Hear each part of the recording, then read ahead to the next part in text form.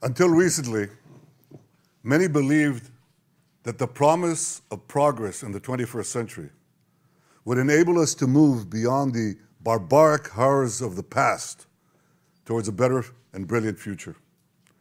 Many believed that we could go about our comfortable lives and that evil will simply pass us by. It will not. The horrors that Hamas perpetrated on October 7th remind us that we will not realize the promise of a better future unless we, the civilized world, are willing to fight the barbarians. Because the barbarians are willing to fight us. And their goal is clear shatter that promising future, destroy all that we cherish, and usher in a world of fear and darkness. Ladies and gentlemen, this is a turning point, a turning point for leaders and nations. It is time for all of us to decide if we are willing to fight for a future of hope and promise or surrender to tyranny and terror. Now, rest assured, Israel will fight. Since October 7th, Israel has been at war. Israel did not start this war. Israel did not want this war. But Israel will win this war.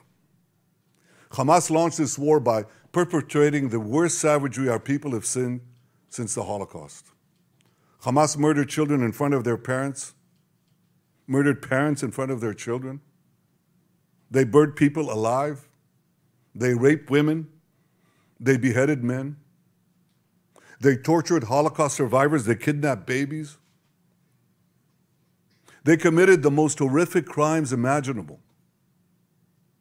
And they're part of the axis of evil that Iran has formed an axis of terror that works by arming, training, and financing Hamas in Gaza, Hezbollah in Lebanon, the Houthis in Yemen, and other terror proxies throughout the Middle East and beyond the Middle East.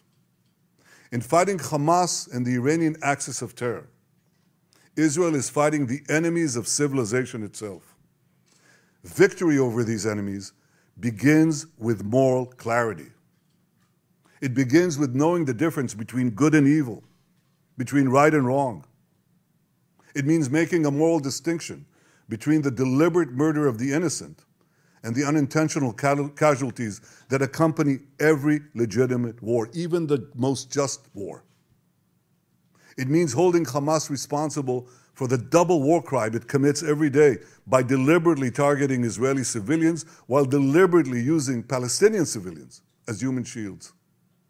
It means making clear that the use of human shields is not only an immoral tactic of terror, but also an ineffective one because as long as Hamas's use of Palestinian human shields result in the international community blaming Israel, Hamas will continue to use it as a tool of terror, and so will others.